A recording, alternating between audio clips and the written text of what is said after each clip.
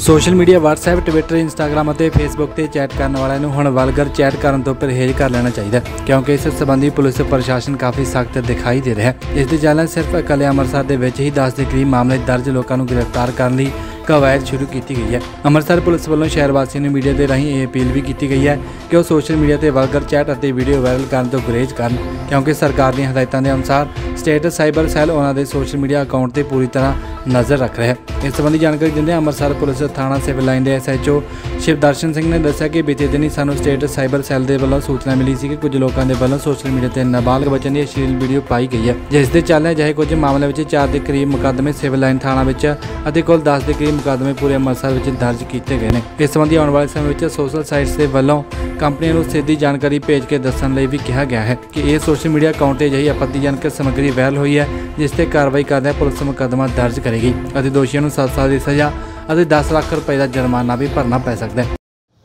ਇਹ ਅਸੀਂ 67 ਵੀ IT act 'ਚ ਇੱਕ ਮੁਕੱਦਮਾ ਦਰਜ ਕੀਤਾ ਅੰਮ੍ਰਿਤਸਰ ਸ਼ਹਿਰ ਦੇ ਹੋਰ ਵੀ ਥਾਣਿਆਂ 'ਚ, ਵੱਖ-ਵੱਖ ਥਾਣਿਆਂ 'ਚ ਕਾਫੀ ਲੋਕਾਂ ਦੇ ਖਿਲਾਫ ਮੁਕੱਦਮੇ ਦਰਜ ਹੋਏ ਆ। ਇਹਦੇ ਵਿੱਚ ਮੇਨ ਇਹ ਹੈ ਕਿ ਆਮ ਤੌਰ ਤੇ ਜਿਹੜੇ ਲੋਕ ਨੇ ਸੋਸ਼ਲ ਮੀਡੀਆ ਤੇ ਜਾਂ ਆਪਣੇ ਫਰੈਂਡਸ 'ਚ ਵਰਗਲ ਵੀਡੀਓਜ਼ ਚੈਟ ਵਗੈਰਾ ਸੈਂਡ ਕਰਦੇ ਰਹਿੰਦੇ ਆ। ਇਹਨੂੰ ਰੋਕਥਾਮ ਕਰਨ ਲਈ, ਇਹਨੂੰ ਨੱਥ ਪਾਉਣ ਲਈ ਜਿਹੜਾ ਵਾ ਸਰਕਾਰ ਨੇ ਫੈਸਲਾ ਕੀਤਾ ਵਾ ਕਿ ਜਿਹੜੇ ਵੀ ਲੋਕ ਇੰਸਟਾਗ੍ਰam ਤੇ, WhatsApp ਤੇ ਜਾਂ ਹੋਰ ਐਪਸ ਦੇ ਰਾਹੀਂ ਵਰਗਲ ਵੀਡੀਓਜ਼ ਸ਼ੇਅਰ ਕਰਦੇ ਆ ਚੈਟ ਕਰਦੇ ਆ, ਉਹਨਾਂ ਦੇ ਖਿਲਾਫ ਜਿਹੜੇ ਮੁਕੱਦਮੇ ਦਰਜ ਕੀਤੇ ਆ। ਇਹ 'ਚ ਹੁਣ ਅਸੀਂ ਇਹ ਤੁਹਾਡੇ ਰਾਹੀਂ ਲੋਕਾਂ ਨੂੰ ਵੀ ਅਗਾਹ ਕਰਨਾ ਚਾਹੁੰਦੇ ਕਿ ਹੁਣ ਇੰਸਟਾਗ੍ਰam ਫੇਸਬੁੱਕ WhatsApp ਤੇ ਜੋ ਵੀ ਤੁਸੀਂ ਚੈਟ ਕਰਦੇ ਹੋ ਟਰੇਸ ਹੋ ਜਾਂਦੀ ਹੈ ਪਹਿਲਾਂ ਇਹ ਲੋਕ ਇਹ ਸਮਝਦੇ ਕਿ ਟਰੇਸ ਨਹੀਂ ਹੁੰਦੀ।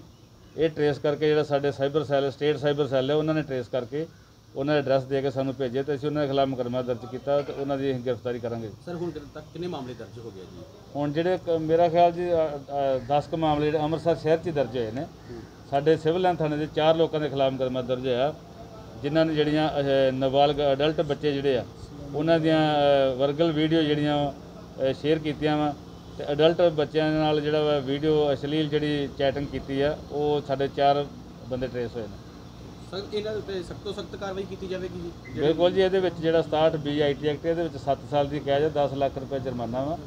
ਇਹ 'ਚ ਛੇਤੀ ਕਿਤਾ ਬੇਲ ਨਹੀਂ ਹੁੰਦੀ ਇਹ ਲੋਕਾਂ ਨੂੰ ਇੱਕ ਸੁਨੇਹਾ ਵਾ।